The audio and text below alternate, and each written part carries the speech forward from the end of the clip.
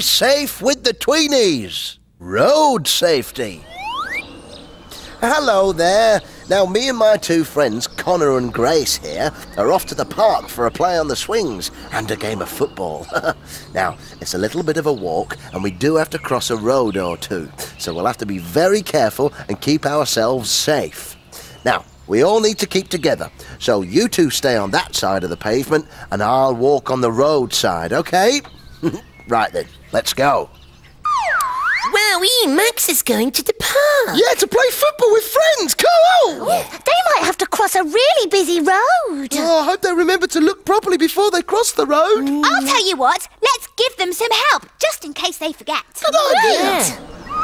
Oh, I must say, I love getting out for a walk and a bit of exercise, so long as we look after ourselves, oh, eh? now then, we need to cross this road and go down there. So, uh, this way. Stop, Max. You must look around for a safe place to cross the busy road. Oh, look, there's a zebra crossing. Oh, we'll use that. At a zebra crossing, wait for the traffic to stop before you cross the road. And don't forget to look and listen all the time. There are, all safely on the other side. Now, we've got a bit further to go and a few more roads to cross, so we must make sure we use the safest ways of crossing them, all right? Let's go then. The best place is at a pelican crossing that has red man and green man lights. Push the button and wait. If you see a red man or a flashing green man, don't cross. When you see a green man that isn't flashing, it's safe to cross the road. Footbridges, tunnels or subways are made for getting to the other side.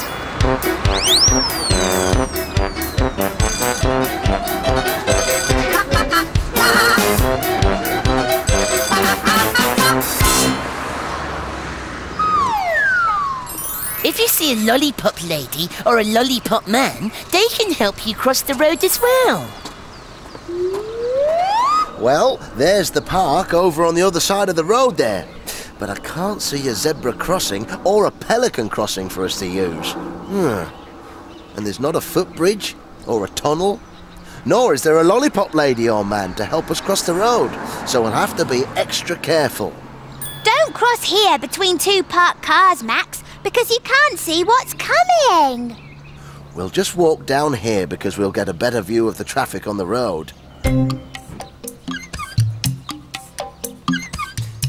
We'll stop here. A little bit back from the edge of the pavement. Now look in both directions. Listening all the time for any traffic. Right, if the road is clear, you can cross safely now. Keep on looking and listening all the time. And don't run. You don't want to fall over in the road, do you? Ah, there we are. All safely across. Hooray! They all got there safely. Well done, Max. He remembered everything. With a little bit of help from us. Oh, I bet they have a brilliant time playing football. yeah!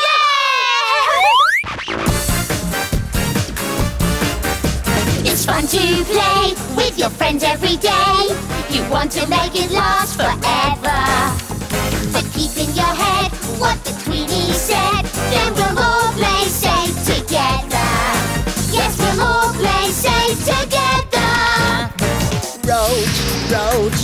Roads, roads. Today it's all about roads. Roads, roads, roads, roads. What should we know about roads? To cross the road and stay as safe as can be. Listen with your ears, use your eyes to see. All hold hands and when the cars have gone, you can safely cross. Just walk, don't run. It's fun to play with your friends